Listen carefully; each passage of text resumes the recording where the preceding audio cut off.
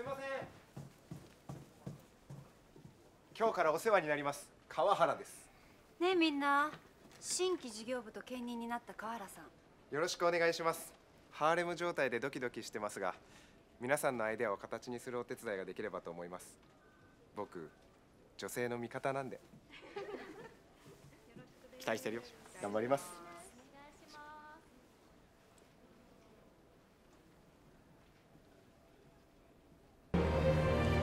よっ元気だった？お久しぶりです。久しぶり。見たよ企画書。すごいね。何これ？投資が決まったのでシステムを開発したいんです。川原さん AI を絡めたビジネスにも詳しかったですよね。うん。正直めちゃくちゃ興味あるよ。詳しく聞かせて。さあ香りを確かめてみて世の中には似て非なるものがたくさんあるのよ。愛と性欲使命と野心。私あんなすごい香水には他に出会ったことがないです。こんな出会いもあるもんだね。